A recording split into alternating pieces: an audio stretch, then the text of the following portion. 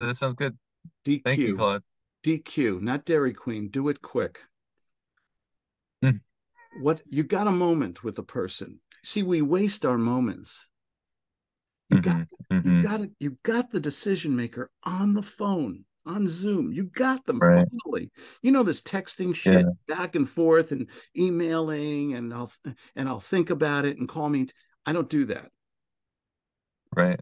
This Yeah. is what I this is what I do. I make offers.